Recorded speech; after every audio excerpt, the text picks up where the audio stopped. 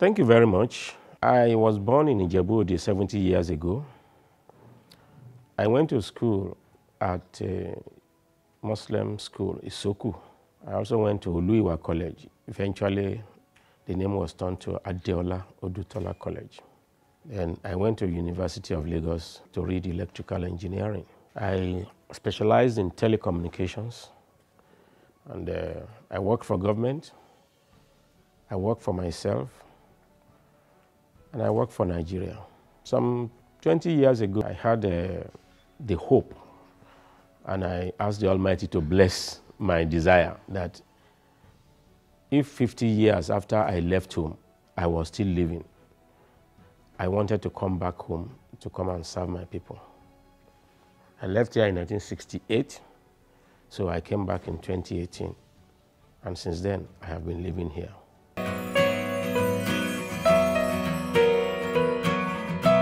Voluntarily retired at age of 40. It was circumstantial. I was working in P&T, later Nitel, and our phones were not good. And uh, it was a concern to me as an engineer. I was becoming uneasy, you know, finding out that uh, it's like we are not providing the right things for our people, what engineering should provide. So uh, we, we, did, we had a conference in Nitel to find out the way forward.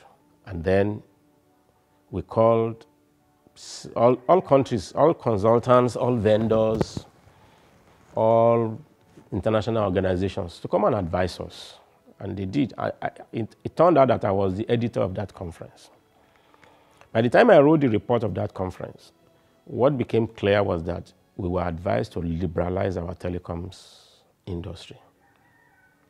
Then, for me, I thought that having discovered what we should do, we should go ahead and do it. But as I was trying to make move towards the advice they gave us, I found out that those who were my principals, they were not interested. And became war really between me and them. And I thought that it was better I left so that I could take action that I might be able to add value to the industry in such a manner that the right thing will be done. So at 40, I just said, oh, I'm 40, yes. Why should I continue to be here? If there are solutions, we know that we can, what we can do, and there are impediments to doing it, then I can no longer belong to that kind of team. I didn't retire with bitterness. I, I retired voluntarily. I was very happy retiring, but I retired to go and participate in all processes that will make us have better telephones. That was what determined my living at that time, and I don't regret it.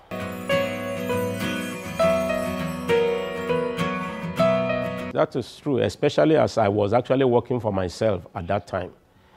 You see, somebody who retired from service at 40 and went into what I can call activism, uh, what I can call industry activism.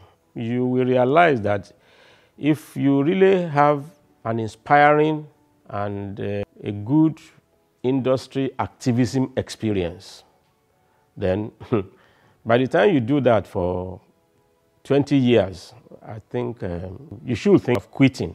Time I was 60, I think I was already satisfied that what I had contributed, um, I, I, to me, it was okay. I think others should try their hands at it. We had done so many things.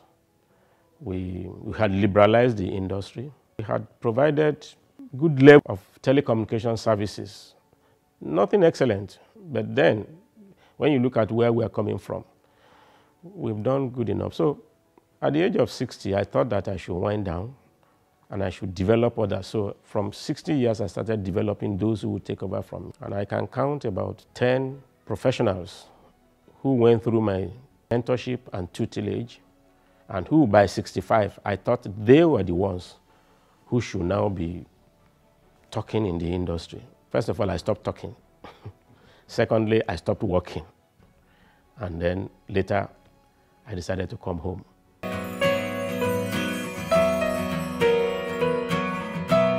Retirement for me means that I no longer go out to search for job.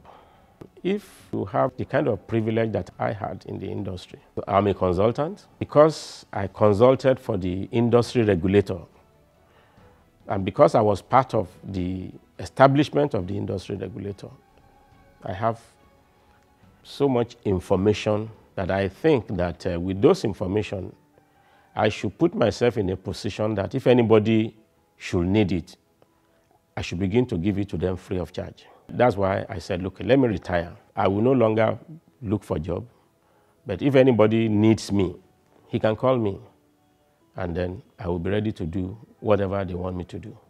I have retired, but I'm really not in retirement as such. When you call me, I still provide some solutions. I built a career in provision of solutions. And uh, at the end of the day, I have other things that are more important than telecom industry, and that is what I am diverting to now. And that's what I do now. What I do now is in my hometown, I want to be part of the development of my own people without playing partisan politics. That is to say, I am ready to give counseling in areas that I think I have enough information that people can build on. For example, in career development. For example, in marriage. For example, in choosing a wife. For example, in planning for the future. I thank God. I might not have been excellent, but I thank God that I don't regret the little opportunities He gave me. The only thing I should do is to pass those opportunities to others before I leave. So, by sitting down to tell people to come with their problems and for me to advise them, I think I will pass a lot to many people. When we were growing up, we didn't quite have counseling. And uh, for that reason, many of us didn't quite do well. But it's not our fault, it's just because of the circumstances at that time. I don't think that circumstance should be allowed to continue. You know, there are some parts of this country where people just leave things to happen and they destroy the system. I, I, I did youth service 46 years ago, 1973 in Bauchi. There were Almajiris. They bothered me at that time. I even wanted to do something about it. But I thought that I should be careful so that I didn't get misunderstood. And uh, the problems that the Almajiris constituted at that time, I'm hearing now that the problem is still there. That means people just don't care. 46 years after? Well, I don't want that to happen to my people. In any case, I'm not just starting counseling my people. I've been doing it all along. The only thing is that I have come back home now to say, I sit down, you come, you discuss your problems, I advise you, free of charge. And then, if I do that for 10 people, and three of them, as a result, succeed, I think I'm satisfied.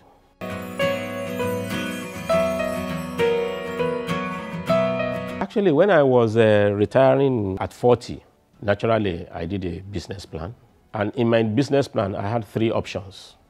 The first was that I wanted to be a consultant because I had the target of participating in liberalizing the telecom industry. I could only do that if I was a consultant. If I went into contracting, I might not be able to. So that's my first option. I wanted to be a consultant. My second option was that I wanted to contract, you know, provide PABXs.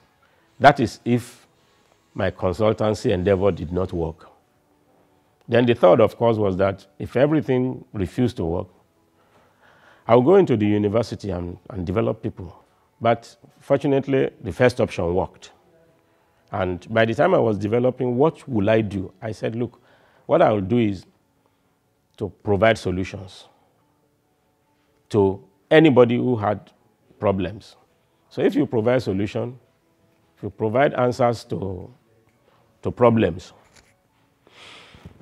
And it is in telecommunications. It, it stands to reason that I can call it Telecom Answers Associates. And that's how the name came. And I spent all my life doing that. The only thing is that I worked more with the regulator because I served as consultant to NCC from when it was established till when I was 60. It was when I was 60, I, I said, I think I had done enough. 20 years of service was just good enough.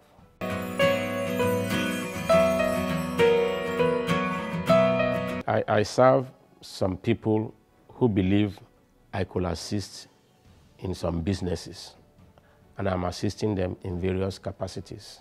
Some companies, I chair the board of directors. Some companies, I am a member of the board of directors. Some companies, I serve them as consultant. And of course, I also counsel anybody who may need it sitting in my, in my hometown here. You sit in front of me, you discuss the problem. I just advise. It's not as if I solve the problems, I advise. And that is not only in telecommunications now. I'm particularly concerned about the youths. I'm particularly concerned about those who are growing up and some of them are roaming about the streets needlessly, needlessly, because they don't have advice. Some of them think that it is because they don't have money. No, it's not about money. It's about the right advice. It's about doing the right things. Everything hinges on, on, on counseling. A, a lazy man is a lazy man because he hasn't got the right counseling. And laziness is one of the issues of the people.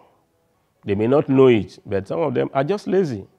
There are so many things they can do, but I mean, they don't even know they can do them because nobody has advised them they can do it, do those things.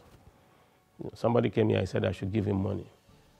And I gave him a job that if he did the job, I would pay him for doing the job and he will get the money he was asking me. Yes. He went away, he didn't come back again. What he wanted was that I should give him money. And I said, I don't have money. But I have so many things that if you do it for me, I will pay you. So, and he felt that I was talking nonsense and he went away. If he had come back, I would have only advised him. And by the time I finished with him, he would be somebody else.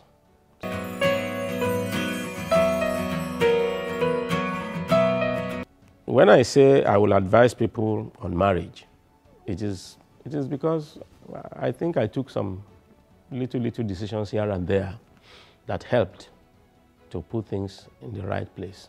I married my, somebody that I call my sister, my friend, my everything, because we were together in secondary school. We were sitting together in class in Form 3. And we are husband and wife today. We had not wedded when we decided we will have two children. And we went ahead to have only two children. We decided the schools those children would go, even before they were born. And they went to those schools. Today, the remaining is history. Uh, those children told me recently that uh, for my 70th birthday, they wanted to take me and their mother out. so I have been away for three weeks. They've been taking me around. They've taken me to a place for one week, and they gave me and their mother a treat that I, I never imagined. And when I asked them, do I deserve all this? Well, they told me I did, that I deserved them, that I made them what they were. Happy birthday, happy birthday.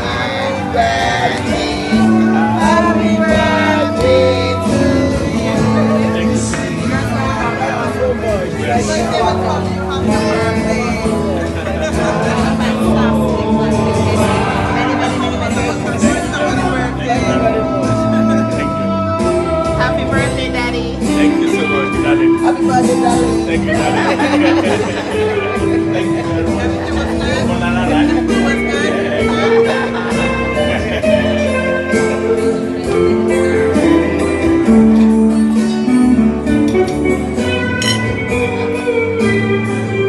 And when I looked at the kind of things it cost them to take us on that trip, I didn't take my father on that kind of trip.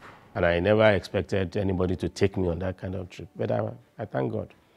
So if I could enjoy that, I want to advise some people on the things they too can do to stop planning for such things. My family is not here. Well, anybody can live anywhere. He, he gets peace. That's, that's my principle. I have peace. The only place I can have peace is this place. That doesn't mean any other person around me must do that. What is important is that everybody must have his own peace in his own way. And, and I think everybody who is around me is having peace in his own way at his own place. I found out that my children too, they have stopped breeding. Each of them told me they have had their children already. It couldn't have been otherwise. Because if I could say I was going to have two children when I had not even married, and I eventually had two children, they too had made up their mind they were going to have two children. All of them have been around me. I've taken photographs with them for this 70th birthday because they won't be here at that time.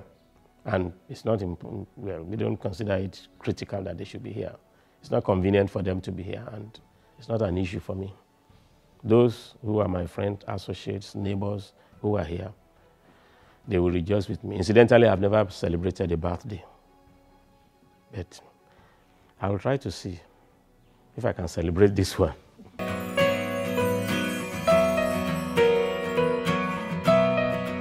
And that's very interesting. My best friend, I met him the first day I entered primary school, when we started primary school in 1956. We all met in school. We were hunting grasshoppers on the field, and then we were close to ourselves, and we took to ourselves. We have been very close friends since then, up to today. Baba is the construction of this house. He lives here. He, he will come in very soon. Engineer Ometu, we were born the same year anyway. We live in the same street. We attended the same primary school. That's Muslim school, Isuku. And we started this journey in 1956. He's somebody that, you know, God brought us together. That's the way I see it. Events have shown that it's God that brought, we didn't come from the same uh, parents, but the understanding is so much. This is a very kind human being. He doesn't like anybody to suffer around him. Another best friend, I met him in Form 1 in secondary school. And the third one, I met him in the university. If you don't have an enemy, then you can say everybody is your friend. Yes, everybody is my friend. For example, I've developed some friendship in this village since I came. I mean, all my neighbors here. I don't expect anything from a friend that all of them have not done. You know, they look after me, ready to forgo anything for my sake. When they are rejoicing at anything, they call me.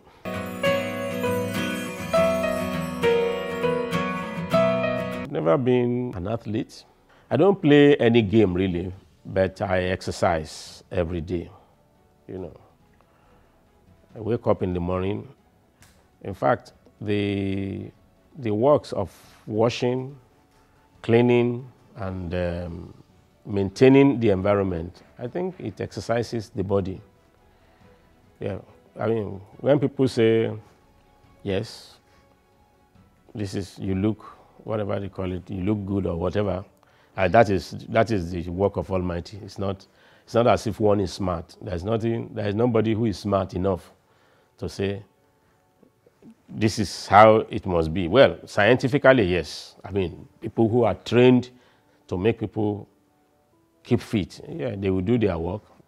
But I still believe that uh, there is an element of, of, luck in achieving the goal. I, I do two kilometers every day if I can. Once in a week, I must do kilometers walking. I cannot run, but I can walk.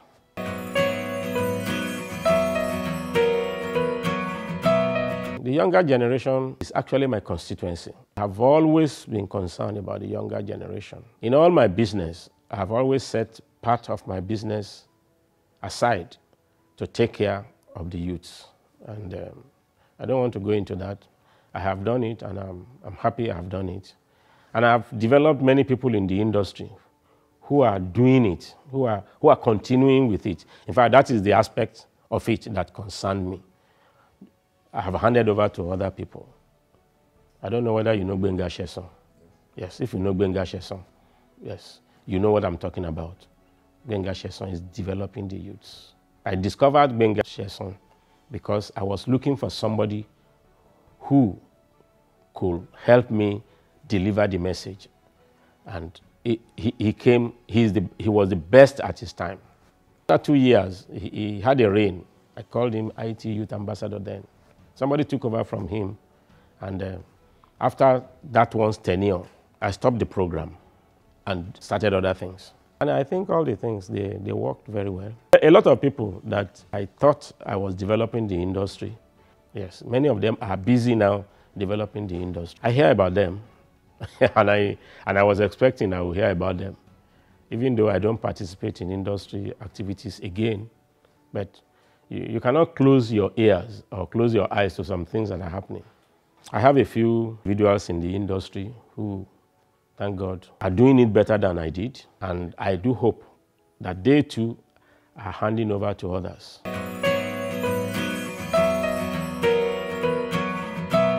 At 70, I, well, if it is not arithmetic, I don't, I just think 70 is a figure. I've never felt any age, you know. Um, I don't celebrate birthdays. I don't. Yes, my wife does, and my wife celebrates it for me every year. And I say, yeah, thank you very much. But the kind of celebration they, they, they suggested, no, I was not ready for that. I was not ready to make undue noise because I am this or I am that. I remember when I was 60, I didn't know that I had scheduled a training on my birthday. The training was for three days. It was to start on a Monday and end on a Wednesday. The Wednesday turned out to be 14th of July, my birthday. So when I was going on Monday, my wife said, because it was going to hold at the University of Lagos, and I was going to stay there for the three days. She said, ah, how long is it going to take? I said, three days. I, said, ah, I expect you to come back tomorrow because Wednesday is your birthday. I said, wow, that's true. How, how could you have done this? Oh, I said, sorry, I have done it. I was not aware um, I forgot. And uh, people have paid for this training. So it was at the training that I told my technical assistant to, to arrange some few things, some biscuits. Uh, they did a cake, and then I told the people I trained to say, today is my birthday, and you should. Every day is my birthday. I don't, I don't, I don't see any day as different from the other. I live as if it may end today. To me, age 70 is just a figure. I can be here for another 10, 20, and I may not be here tomorrow. Yes, it's not, it's, it's in the hand of Almighty. I'm just going to continue to do what I want to do. And I will assume that it can terminate anytime. And I don't want to regret that the good that I should have done yesterday, I say, okay, I will do that good tomorrow. No, I don't do that. I will do the good now.